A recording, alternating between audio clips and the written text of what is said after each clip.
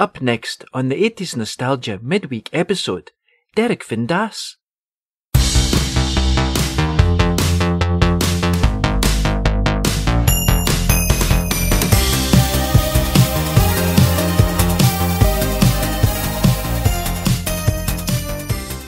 Hello everyone, I'm Derek Findas, and I'm here to take part in an interview. But no one from the 80s Nostalgia podcast could be bothered to get on a bus and visit the studio. No, they just faxed over the questions. Not very professional, I would say. Although, now I'm interviewing myself, I'm definitely the best person for the job. The fax says, I'm writing to you from the future. I'm currently in 2019 and I run the 80s Nostalgia podcast.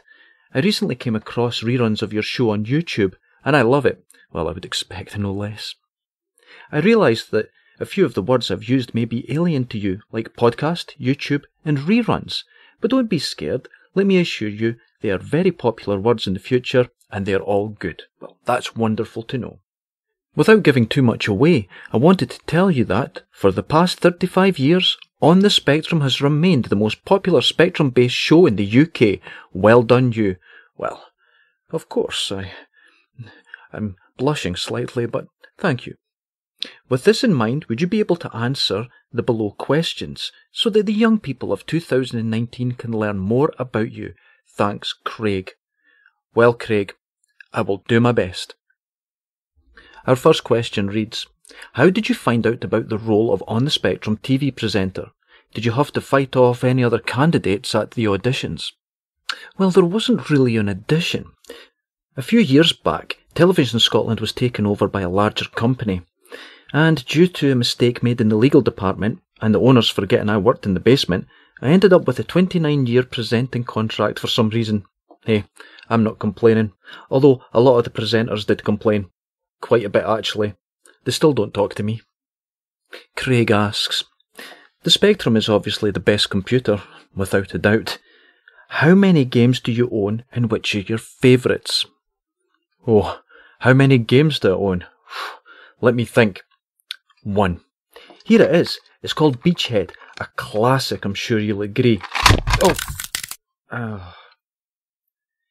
I need to update the information on my game collection. I have no games. Repeat, no games. Our next question. When you think of the spectrum, what is the first image that comes to mind? When I think of the Spectrum, the first thing that comes to mind is the day I bought my first ZX Spectrum. My wife Janet was furious, as I used the money we were saving to replace her mother's wheelchair, which had seen better days. So that's my first thought, a furious Janet. To let your listeners know how the Janet's mother new wheelchair situation worked out, well, it was fine. She died a couple of weeks later. So, all's well that ends well. Moving on. The special effects in your show are mind blowing. Well, thank you. I loved the Rampage episode where you became huge and fired lasers from your hands.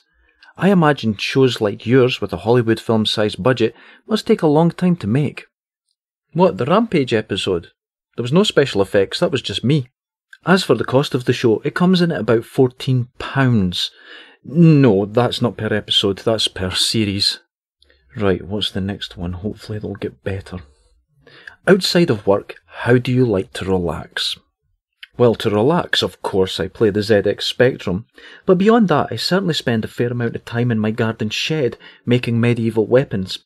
I recently fashioned a foot soldier's pike out of an old snooker cue with a nail in the tip. Next question. You're in 1984, and yet I see you have an active Twitter account. What's that all about? Moving on. I imagine your moustache has taken a few years to grow. I'm sure you get many letters praising it. I actually do.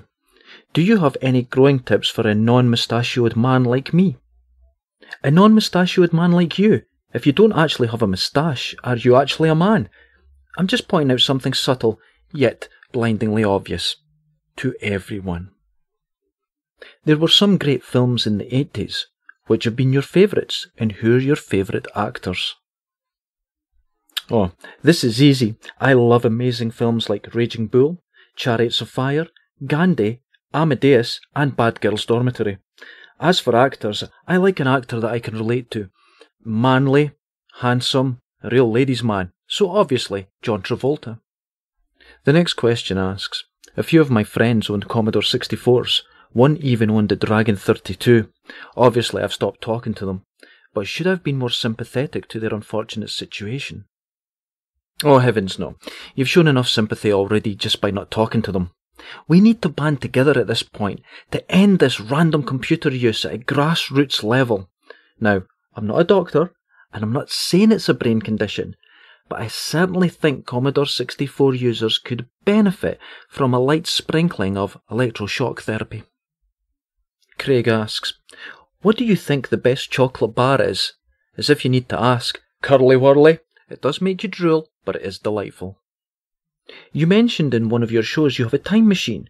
Could you tell me the code to activate it, and where do you keep the user manual? Well, the code is. Wait a minute.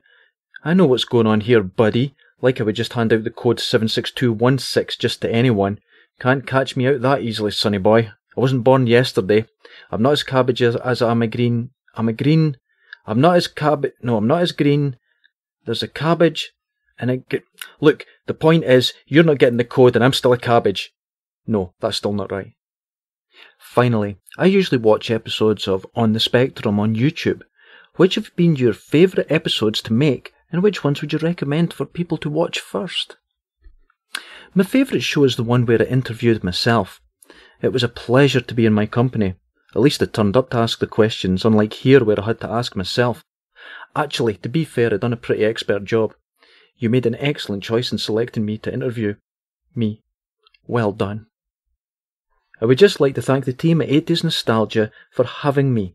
I'm only too happy to have my presence elevate your show's standards.